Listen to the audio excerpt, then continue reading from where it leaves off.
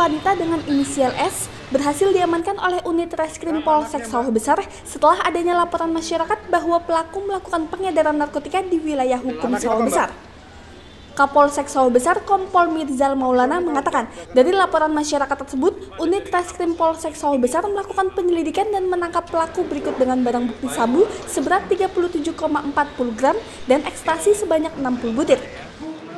Atas informasi dari masyarakat yang kami tidak lanjuti bahwa yang bersangkutan sering mengedarkan narkoba atau narkotika di seputaran wilayah Sawah Besar.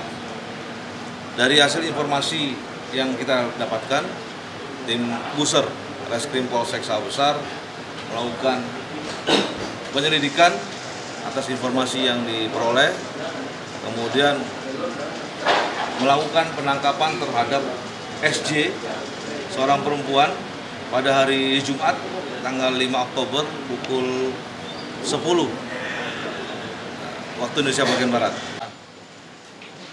Atas perbuatannya, kini pelaku diancam pasal 114 ayat 2, subsider pasal 112 ayat 2, Undang-Undang Republik Indonesia tahun 2019 tentang narkotika dengan ancaman maksimal hukuman mati.